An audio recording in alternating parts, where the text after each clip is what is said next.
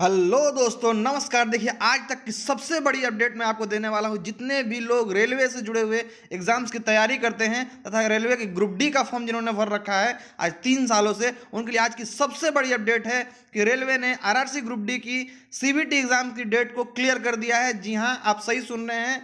CBT exams अब आपके तेईस फरवरी से होने शुरू हो जाएँगे। ये मल्टीपल फेजेस में एग्ज़ाम होने वाले हैं तो इसके लिए ऑफिशियल नोटिफिकेशन आ चुकी है। चलिए, मैं आपको ले चलता हूँ। आपके आरआरबी के वेबसाइट पे। देखिए ये है आरआरबी भोपाल का ऑफिशियल वेबसाइट जैसे ही आप इस पर क्लिक करते हैं आरआरबी भोपाल के वेबसाइट पे तो आपको इस तरह का एक पेज खुल के आएगा सामने। रेलवे रिक्रूटमेंट बोर्ड देखिए, यहाँ पे मिनिस्ट्री ऑफ़ रेलवे और ये है ईस्टर्न रेलवे कॉलोनी भोपाल। यानी कि भोपाल का ऑफिशियल वेबसाइट है। जैसे ही आप इस पर जाते हैं, तमाम तरह के वेबसाइट्स पे आ चुका है, जितने भी रेलवे के आरआरबी के वेबसाइट्स है। इसमें देखिए, आज है आठ बारह दो हज़ार इक्कीस।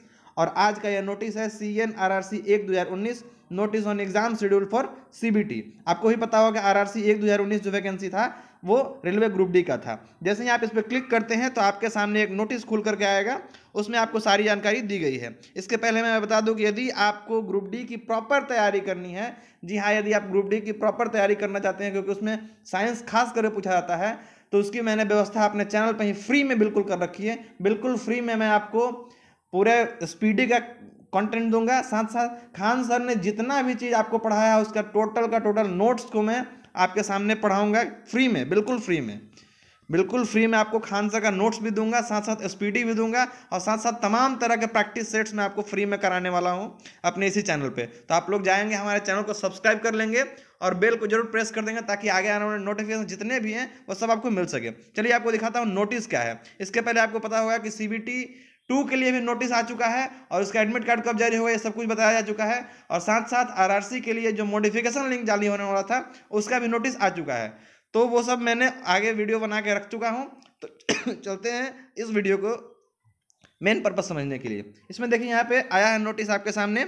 C N R R C एक दो हज़ार उन्नीस, ये लेवल वन पोस्ट यानी कि ग्रुप डी के पोस्ट के लिए है। और इसमें लिखा गया है दोस्तों फ़र्स्ट नंबर कॉलम में कि the Applications were invited from eligible candidates from various posts level one ये C P C matrix central R R C एक दो हज़ार उन्नीस के लिए। उन्हीं के लिए जारी किया है इसमें लिखा गया है साफ़ साफ़ देखिए यहाँ पे लिखा गया है कि the C B T age पर डिटेल्स प्रोवाइडेड यानी कि सी बी टी आपका जितना डिटेल्स प्रोवाइड किया गया उसके हिसाब से विल कमेंस टेंटेटिवली यानी कि इसको किया जाएगा कब से? फ्रॉम तेईस फरवरी 2020 जी हाँ तेईस फरवरी 2020 से आपके सीबीटी के एग्ज़ाम शुरू हो जाएँगे रेलवे ग्रुप डी के लिए R R C group D के लिए। आर आर बी नहीं आर आर बी पहले वाला हुआ था, ये R R C group D है, जिसका फॉर्म आपने 2019 से भर रखा है। तो 23 फरवरी से आपके ग्रुप डी के एग्ज़ाम स्टार्ट हो जाएँगे, और ये एग्ज़ाम जो है, एक ही दिन में खत्म होने वाले नहीं है दोस्तों। ये भी एग्ज़ाम एनटीपीसी की तरह, जैसे एन टी सात फेजेज में लिया, अब ये कितने फ़ेज़ में लेगा ये अभी आगे बताया जाएगा, लेकिन ये वेरियस फेजेज में चलने वाला है।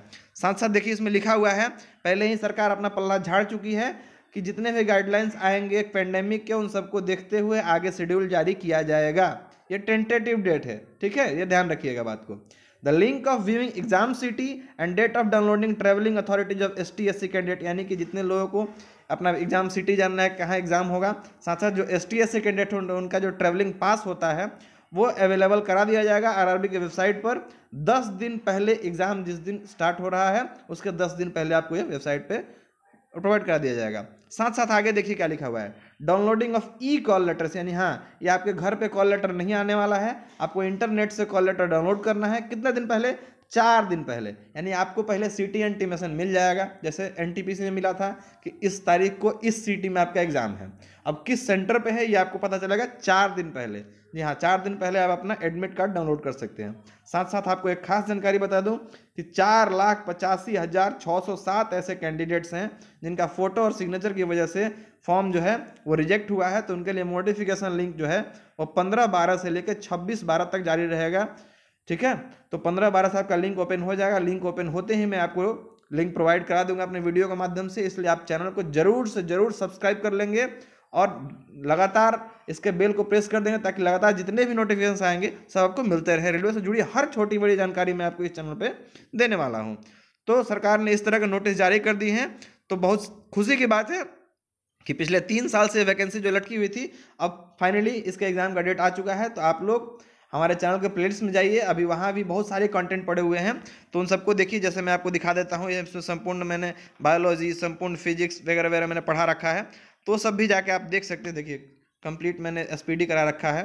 तो इसको भी जाके आप लोग देख सकते हैं। जूलॉजी बोटनी सब कुछ मैंने करवा रखा है। तो जाके आप वहाँ से प्रॉपर तैयारी कर सकते हैं, क्योंकि इसी बुक से हर बार क्वेश्चन पूछे जाते हैं और इस बार भी क्वेश्चन पूरे पूरे रहने की संभावना है।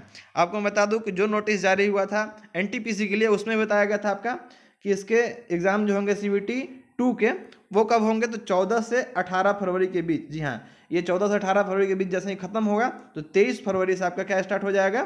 तो वो ग्रुप डी का एग्ज़ाम स्टार्ट हो जाएगा। इसलिए जितने भी छात्र हैं, पूरे धार से तैयारी करें, क्योंकि जो लोग ग्रुप डी मतलब सी बी टी टू में बैठ रहे हैं तो लगभग 90 परसेंट तो ऐसी निश्चितता ज़रूर है कि आप ग्रुप डी में भी बैठेंगे ही बैठेंगे और आपका सीट जो है, वो कहीं ना कहीं एक जगह सिलेक्शन ज़रूर मिल जाएगा आपको। तो इसलिए आप लोग पूरी धार से तैयारी कीजिए और साइंस पे खास करके ध्यान रखिए, क्योंकि ये ग्रुप डी जो है, इसका शुरू से ही एक मतलब पैटर्न रहा है कि इसमें साइंस के बहुत ज़्यादा क्वेश्चन पूछे जाते हैं। तो साइंस के लगातार प्रैक्टिस के लिए आप हमारे चैनल से जुड़िएगा। मिलते हैं अगले वीडियो में, तब तक के लिए धन्यवाद।